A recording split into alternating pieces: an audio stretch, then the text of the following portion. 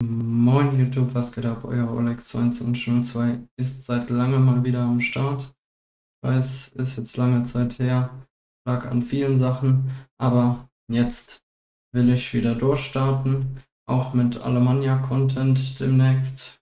Schreibt mir da gerne in die Kommentare, was ihr sehen wollt. Hab schon so ein paar Vorstellungen, was ich machen will. Aber heute kommen wir erstmal zu meiner EM-Prognose. Da habe ich mir schon einige Gedanken gemacht. Erstmal tippe ich hier die Gruppen und dann die K.O.-Phase und danach werde ich noch ein paar Kategorien wie bester Torschütze, bester Spieler, bester Torwart und so weiter vorstellen. Starten wir mal rein mit Gruppe A. Da bin ich der Meinung, dass Deutschland auf dem ersten Platz landet. Ist vielleicht noch nicht alles so gut, wie es manchmal scheint, aber auch nicht so schlecht, wie es manchmal scheint. Aber ich denke, Deutschland wird diese Gruppe relativ problemlos auf dem ersten Platz abschließen. Dann habe ich jetzt noch nicht so oft gesehen, habe ich tatsächlich den zweiten Platz Ungarn. Irgendwie habe ich das Gefühl, die könnten da gut äh, sein und auf dem zweiten Platz landen mit Schoboschlei. Danach sehe ich dann als dritten die Schweiz die natürlich auch viele Bundesligaspieler haben und generell auch viele Spieler, die mal in der Bundesliga waren oder auch andere Spieler. Ja, aber ich denke, Ungarn wird irgendwie vor der Schweiz abschließen und Schweiz wird dann auf dem dritten Platz äh, abschließen und auf dem letzten Platz dann die Schotten. Haben zwar auch hier und da guten Spieler, aber irgendwie sehe ich da nicht, dass die Schotten hier irgendwie vor Schweiz oder ja, Ungarn. Ich meine, Ungarn könnte ja auch auf Platz 3, aber ich denke, die Schotten werden der vierte sein. Und dann kommen wir mit Gruppe B schon zu einer echt starken Gruppe mit drei starken Mannschaften. Und jetzt fange ich mal von hinten an, denn da sollte der letzte klar sein. Also alles andere wäre für mich eine Überraschung, in der Albanien vor Italien, Spanien oder Kroatien sein sollte. Für mich der klare vierte hier in der Gruppe. Sollte eigentlich klar sein, aber man weiß ja nie. Aber für mich hier keine Chance und der klare Vierte. Auf dem dritten Platz sehe ich dann die Kroaten. Haben schon oft in WMs und EMs überrascht, überzeugt. Aber ich sehe sie diese EM nicht ganz so stark. Vielleicht täusche ich mich auch, aber irgendwie mein Gefühl sagt mir, dass es diese EM nicht so stark wird. Auf dem zweiten Platz sehe ich dann den amtierenden Europameister und auf der 1 sehe ich dann die Spanier, wo ich einfach das Gefühl habe, dass sie in der Gruppe B am stärksten abschließen werden. Italien zwar auch stark, aber ich sehe Spanien irgendwie noch einen Ticken weiter vorne aktuell mit den ganzen Talenten und ja, das ist einfach eine, sag ich mal, geschlossene Einheit. Viele aus Spanien mit äh, viele von einem Verein, viele von Barcelona. Mal gucken, was Lamin Jamal so abliefert. Der könnte, denke ich, auch dafür große Aufruhr sorgen und ja, die sehe ich auf dem ersten Platz. So sieht dann meine Gruppe B aus. In Gruppe C sehe ich England auf dem ersten Platz. Ja, haben eine sehr gute Mannschaft, die Engländer. Werden wahrscheinlich auch ein gutes Turnierergebnis abliefern, waren ja bei der letzten EM im Finale und sind dann im Elfmeterschießen an den Italienern gescheitert. Auf der 2 knapp dahinter sehe ich dann die Dänen. Vielleicht sogar beide sieben Punkte, weil das direkte Duell unentschieden ausgeht. Vielleicht gewinnt das aber auch, aber ich sehe die Dänen auch in diesem Turnier wieder als starken Mitkonkurrenten und denke, dass die da eine gute Leistung abliefern werden. Auf der 3 sehe ich dann die Serben die sehr viel Potenzial haben, aber ich denke, Dänemark wird dann schon als auf dem zweiten Platz landen und da auf jeden Fall schon mal sicher weiterkommen. Und auf dem letzten Platz sehe ich dann die Slowenen mit meiner Meinung nach dann nicht genug Klasse, um an Serbien oder Dänemark vorbeizuziehen und vor denen zu stehen. Und dann kommen wir, denke ich mal, zur absoluten Hammergruppe der Gruppe D. Manche sagen vielleicht Polen wäre das klare Schlusslicht, sind bei mir auch das Schlusslicht. Aber wer weiß, vielleicht äh, holen sie auch da und hier was mehr Punkte und springen dann irgendwie auf den dritten Platz. Auf dem dritten Platz kommen nämlich überraschend oder für manche vielleicht auch nicht überraschend die Niederländer. Ja, irgendwie überzeugt es mich noch nicht so ganz, dass ich sehe, dass die hier irgendwie souverän durch die Gruppe gehen. Und da denke ich einfach, dass die Österreicher hier auf dem zweiten Platz landen und klarer Favorit, wobei nicht unbedingt klarer Favorit, aber ich denke schon, dass sie den ersten relativ sicher holen werden. Frankreich, die für mich auch eine der Titelaspiranten sind. Und dann kommen wir zur Gruppe E. Da sehe ich ganz klar auf dem letzten Platz die Rumänen. Auf dem dritten Platz sehe ich dann die Slowakei. Der Gruppensieg entscheidet sich für mich sowieso hier zwischen den Belgiern und den Ukrainern. Die Ukrainer konnten wir ja im vorletzten Testspiel gegen die deutsche Nationalmannschaft sehen. Da waren sie sehr defensiv ausgerichtet, aber ähm, allein wenn man sieht, was die alles in der Offensive haben, hm, von Girona, Zygankov und Dovbik und auch Mudrik von Chelsea, klasse Spieler, auf jeden Fall Spieler, die viel für die Ukrainer erreichen können, aber für mich eben hinter Belgien auf dem zweiten Platz, Belgien dann auf dem ersten Platz, die für mich wenn man es vielleicht so sagen will, vielleicht so eine zweite goldene Generation wäre zu viel gesagt, aber jetzt nochmal irgendwie viele Spieler bekommen haben, die in der letzten Saison sehr abgeliefert haben. Ich sehe die hier auf dem ersten Platz. Und dann kommen wir zur letzten Gruppe. Da ist für mich wieder ein klarer Gruppenvierter. Ich sage jetzt oft klarer Gruppenvierter. Am Ende in einem Monat werden wir dann sehen, wie viele klare Gruppenvierten das dann am Ende wirklich waren. Aber hier sehe ich die Georgier auf dem vierten Platz, haben mit Mamadashvili von Valencia und Kvaratskhelia von Neapel so ihre einzigen Spieler, die man auch wirklich kennt und die auch wirklich herausstechen können. Sonst hier und da auf jeden Fall gute Spieler, aber ich denke nicht, dass es reicht, um irgendwie Türkei, Portugal oder Tschechien auf den vierten Platz verdrängen zu können. Auf dem dritten Platz sehe ich dann die Türken. Viele sehen sie ja auch vielleicht sogar auf den zweiten oder ich habe es auch ab und an gesehen, dass welche die auf den ersten tippen. Ich sehe sie irgendwie nicht so stark. Ich kann mich noch erinnern, vor drei Jahren EM, jeder hatte, oder nicht jeder, aber es wurde viel gesagt, Türkei Geheimfavorit und dann sind sie am Ende sang- und klanglos ausgeschieden. Ich denke, sie werden diesmal auf dem dritten Platz landen. Dann auf dem zweiten Platz für den einen oder anderen vielleicht verwunderlich. Aber sehe ich die Portugiesen und dann Tschechien auf der 1 irgendwie geben die so mir als vielleicht kleiner Geheimfavorit, kleiner Überraschung auch irgendwie hier ein gutes Gefühl, dass die diese Gruppe auf dem ersten Platz abschließen könnten. Und jetzt müssen wir entscheiden, welche Gruppen Dritten hier eben weiterkommen können. Vier können es sein. Und da habe ich mich für die Schweiz entschieden, aus Gruppe A, für Niederlande, Slowakei und die Türkei. Somit würden bei mir Kroatien und Serbien ausscheiden. Dann gehen wir weiter und jetzt sind wir in der K.O.-Phase angelangt und da geht's los mit den Spaniern gegen die Slowakei und da ist für mich Spanien der Favorit und wird auch bei mir ins Viertelfinale einziehen. Dann haben wir unsere DFB 11 gegen Dänemark. Dänemark auf jeden Fall nicht zu unterschätzen. Mit vielen jungen Spielern, vielen Spielern, die auf jeden Fall was für Dänemark reißen können. Dennoch sehe ich unsere DFB 11 da. Natürlich mit einem schwarz-rot-goldenen Herz im Viertelfinale. Dann haben wir mit Tschechien gegen Schweiz, wie ich finde, ein recht ausgeglichenes Duell. Schweiz eine gute Mannschaft, Tschechien eine gute Mannschaft.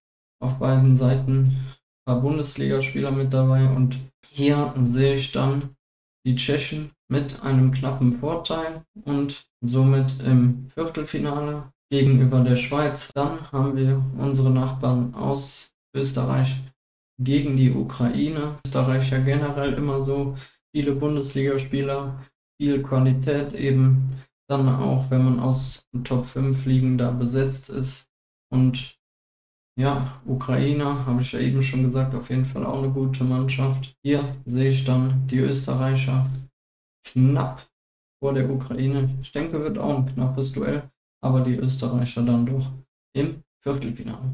Dann haben wir doch wie ich denke, ein spannendes Duell mit den Belgiern gegen die Niederländer. Dann sehe ich die Belgier eben dann vor den Niederländern und somit im Viertelfinale. Dann haben wir ein sehr spannendes Duell. Für mich auch zwei Mannschaften, die den Titel auf jeden Fall holen können. Frankreich gegen Portugal.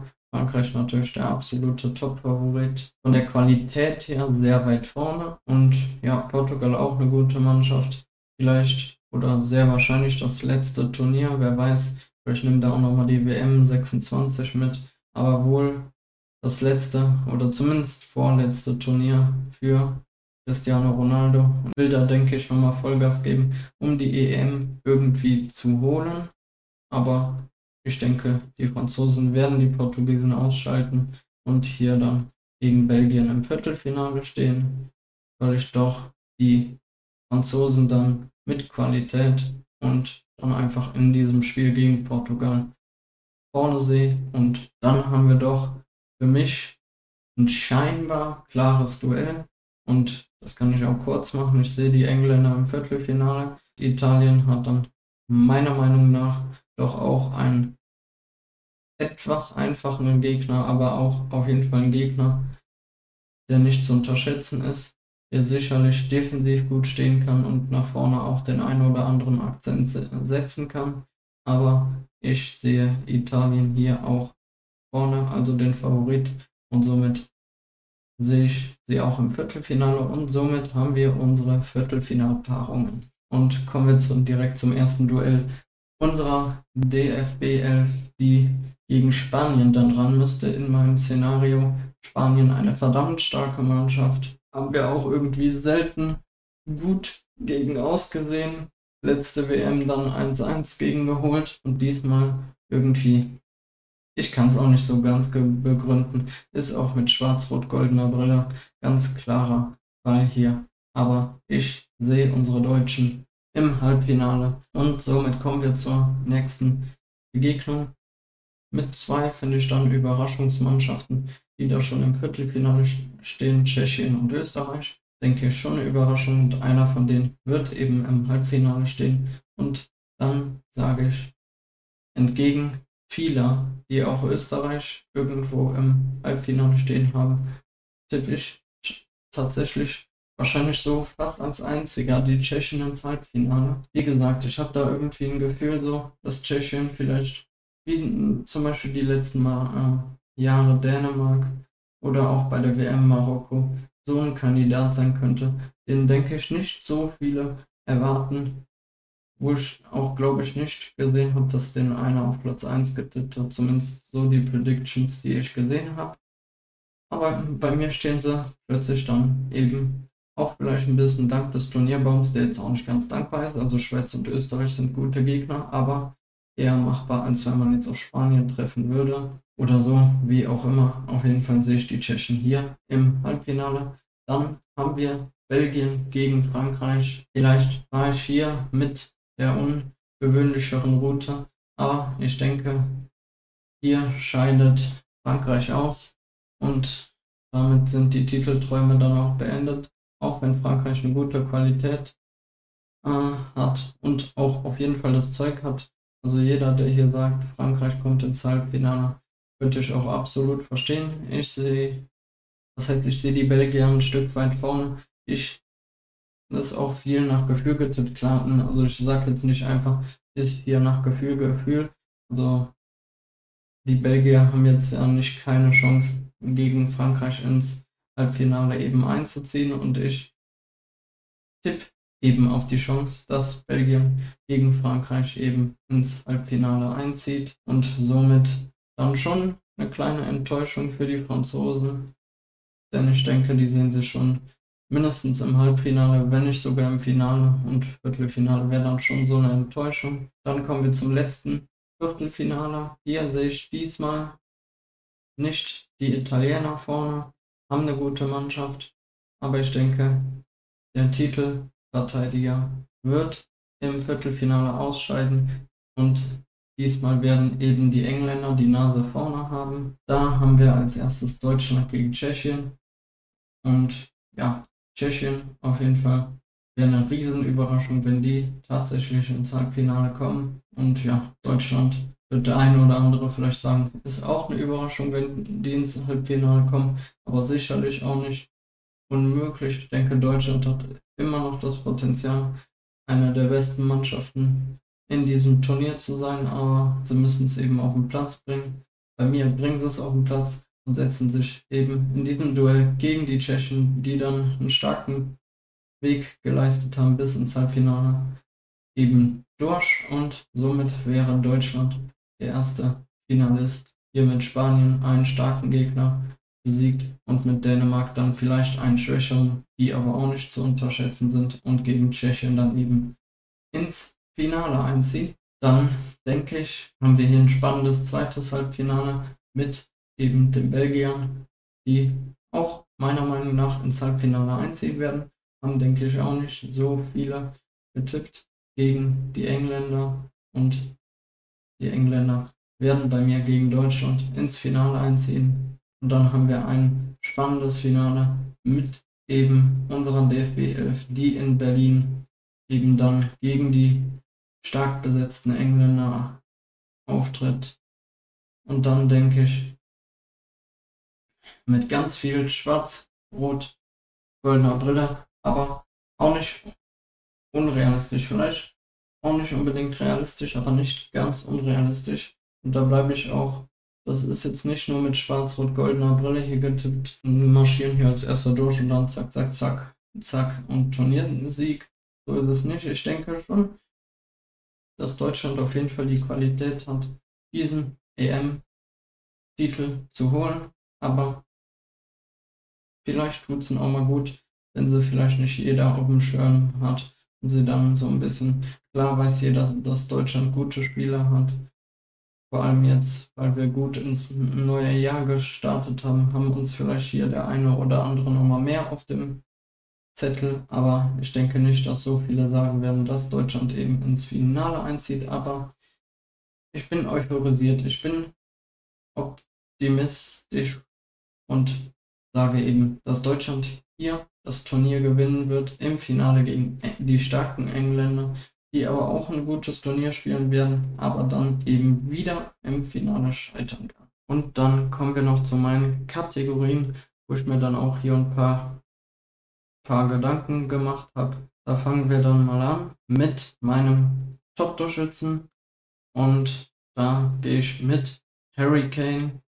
Ich denke, der wird wieder eine gute Turnierleistung abliefern, wird viele Tore machen und vor allem schießt dabei England die Elfmeter. Ich denke, der wird dann seine 1, 2, vielleicht auch drei Elfmeter reinmachen und nebendran eben noch so viele Tore schießen, dass er eben dann zum Top-Torschützen gekrönt wird.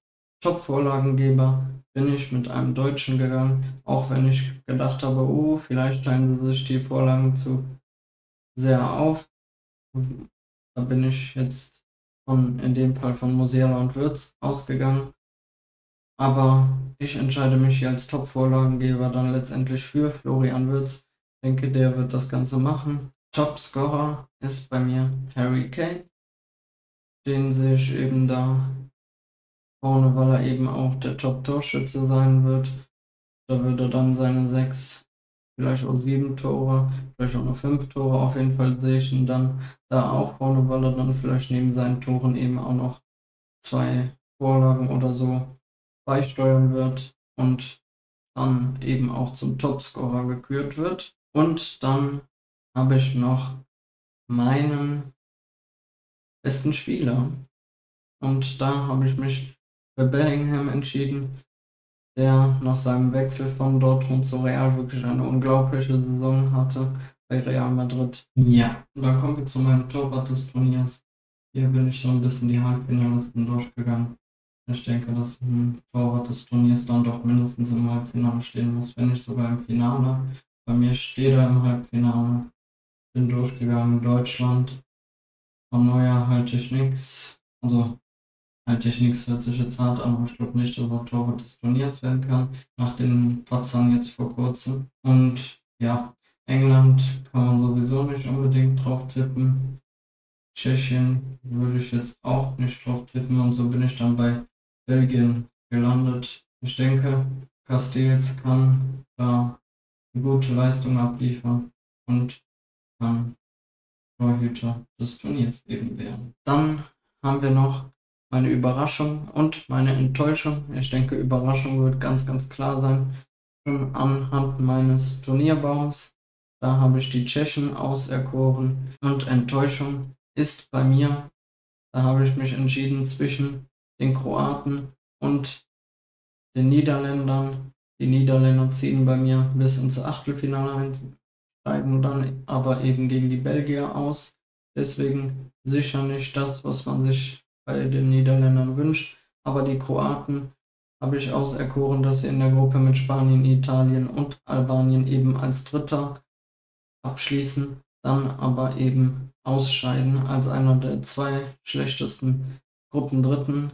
Und die letzten Jahre hatte ja Kroatien schon so den Status, dass die eigentlich immer überraschend waren und dann eben immer auch im Halbfinale standen besonders bei WMs, wo sie eben auch mal im Finale waren gegen Frankreich. Und ja, aber dieses Mal sehe ich sie eben nicht so stark, scheiden bei mir dann eben als Gruppendritter aus und sind bei mir die Enttäuschung des Turniers. Hab jetzt in Zukunft dann hier und da auf jeden Fall noch ein paar Videos geplant und will da auf jeden Fall auch wieder aktiver werden. Also ich kann schon mal so viel sagen.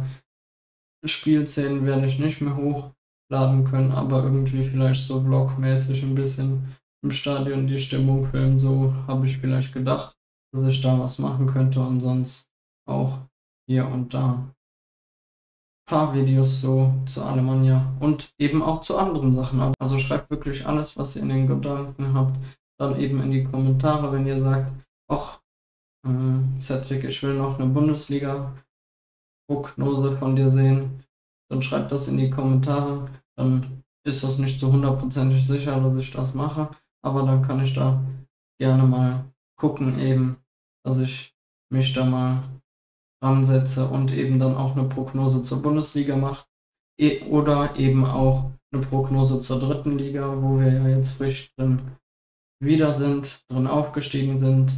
Oder Bewertung unserer Transfers oder generell, aber vielleicht werde ich da so oder sowas zu machen. Aber wie gesagt, schreibt immer Feedback in die Kommentare, Feedback auch zu diesem Video, wie es euch gefallen hat und eben zu anderen Sachen, die ihr sehen wollt oder die ihr loswerden wolltet. Dann würde ich sagen, war es das für das Video. Lasst auf jeden Fall ein Like da, wenn es euch gefallen hat. Schreibt wie gesagt einen Kommentar und aktiviert eben auch die Glocke, damit ihr nichts mehr verpasst. Denn jetzt kommen eben wieder öfter Videos. Und ja, dann verpasst ihr keins mehr. Und dann würde ich sagen, bis zum nächsten Mal, euer Alex und tschüss.